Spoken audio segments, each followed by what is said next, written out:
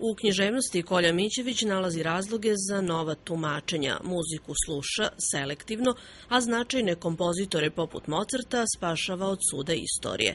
Jedan od najznačajnijih događaja u mom životu, muzičkom, je muzikološkom, ako mogu da kažem, jer muzičko prerasta u muzikološko kada počnete da malo razmišljate o tim pojavama, je slučaj Mozartov.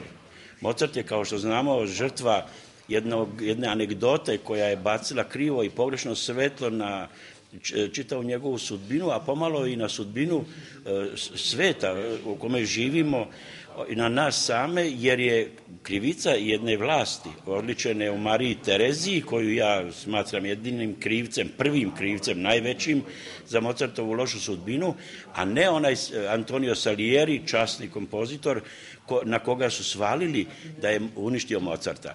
Neobična ličnost zanimljivih pomalo ekscentričnih stavova lako može zainteresovati slušalca i navesti ga da se zamisli i preispita, ako ne i da potpuno promeni svoje mišljenje.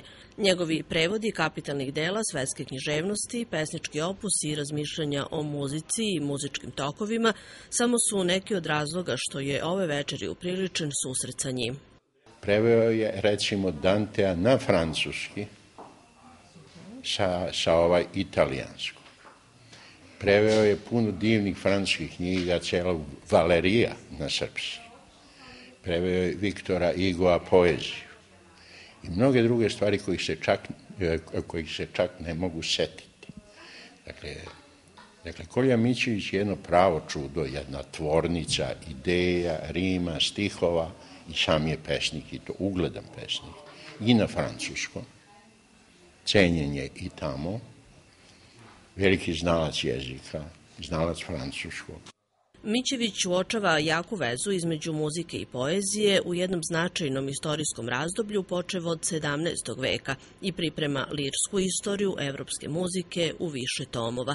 On je objavio i knjigu o Bahovim kantatama i ima uopšteno zanimljiv pristup različitim temama – Jedinstvenu priliku da ga upozna iskoristila je kragujevačka publika koja se u zavidnom broju okupila u klubu Vidosav u Botunju.